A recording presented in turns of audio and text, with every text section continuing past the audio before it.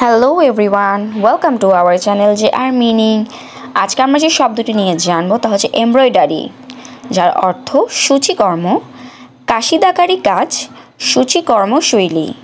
নিচে দুটি এক্সাম্পল দেওয়া হয়েছে।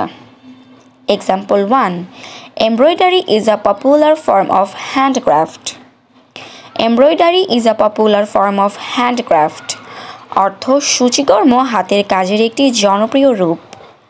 Example 2 She learned embroidery from her grandmother.